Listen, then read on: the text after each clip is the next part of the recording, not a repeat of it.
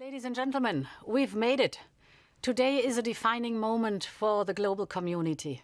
At a time when we are sitting further apart than usual, the world has shown it is standing closer together than ever before. And in the space of just a few hours, we have collectively pledged 7.4 billion euros for vaccines, diagnostics, and treatments. And all this money will help kickstart unprecedented global cooperation.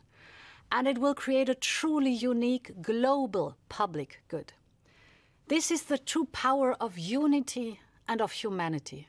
And I thank governments from across the world for contributing with funding and commitment. And I'm so grateful to the global health organizations, the researchers, the scientists, and all the partners who will work tirelessly to find the solutions we need.